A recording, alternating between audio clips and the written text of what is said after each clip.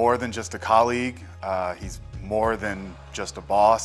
He's more than just a friend. I consider him family because of the opportunities he's given me. 彼らはリスクを取る人です日本でビジネスのチャンスがあると話したらすぐに日本への航空券を買ってもらいました今では日本で会社を開きました Quand je les ai rencontrés, j'étais étudiant et j'étais à la recherche de mon premier job. Et dès nos premiers échanges, j'ai su que c'était avec eux que je voulais travailler pour m'épanouir professionnellement.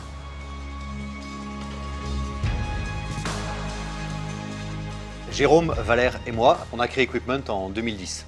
Equipment travaille dans le domaine de la recherche euh, pharmaceutique. Quand vous êtes un industriel du médicament et que vous développez un nouveau médicament, vous avez besoin de le comparer avec des médicaments existants, qu'on appelle des médicaments de référence. Pour faire cette comparaison, vous voulez suivre des patients dans le monde entier qui prennent un traitement et l'autre, de manière à pouvoir comparer les résultats.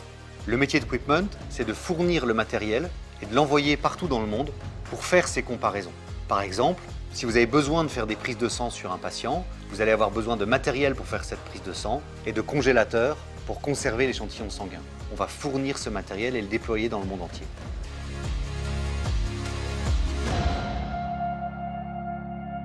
La première force d'Equipment, ce sont ces outils numériques.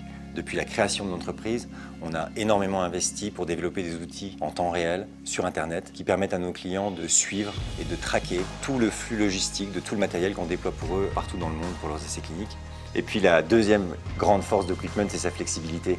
La grande inconnue en recherche clinique, c'est la durée d'un essai. Et Equipment arrive toujours à proposer des solutions qui permettent de s'y adapter. Pour faire face à cette croissance hyper rapide, on donne beaucoup de responsabilités aux gens. Au quotidien, ils ont un vrai pouvoir de décision. Et ça, les clients le sentent. Ils ont des interlocuteurs avec de l'épaisseur, de la présence et pas des exécutants. Ce que je trouve incroyable, c'est qu'on a commencé euh, tous les trois dans une pièce avec une table.